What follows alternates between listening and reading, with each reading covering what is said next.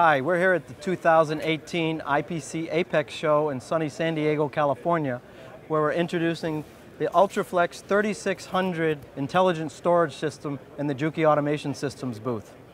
This system is very unique in that it can handle both 7-inch reels, 15-inch reels, in any thickness, from 8 millimeter up to 88 millimeter thick.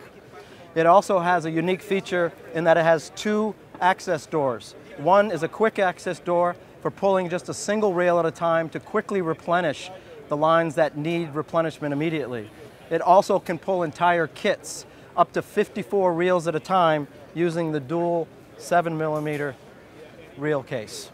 System can also handle anything that can fit in a case. Bare PCBs, solder paste, strip tapes, sub-assemblies, etc. As long as you have a barcode on the case relative to the product in the case, we can pull that automatically. Another nice feature is that all components stored in this cabinet are kept at a 5% relative humidity or less. That's all recorded automatically. So no more MSD manual writing of parts in and out of a bake oven, for example, or a dry box. That's all automated for you now. So with the Juki Automation Systems intelligent storage, you're really going to have a strong ROI. Tremendous savings on floor space, tremendous labor savings on pulling kits, also on putting kits back into the warehouse.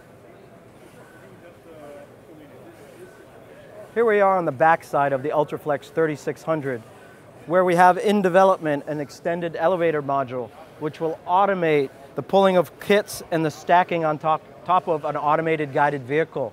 And then go on a mission and deliver those directly to the production floor.